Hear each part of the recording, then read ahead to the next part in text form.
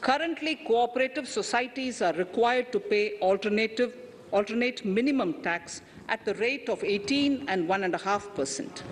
However, companies pay the same rate uh, the, the same, which is the alternate minimum tax, at the rate of 15%.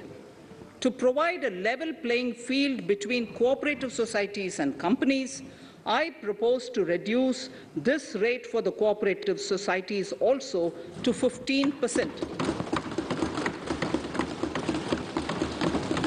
Honorable Speaker, sir, I also propose to reduce the surcharge on cooperative societies from the present 12% to 7% for those having total income of more than 1 crore and up to 10 crores.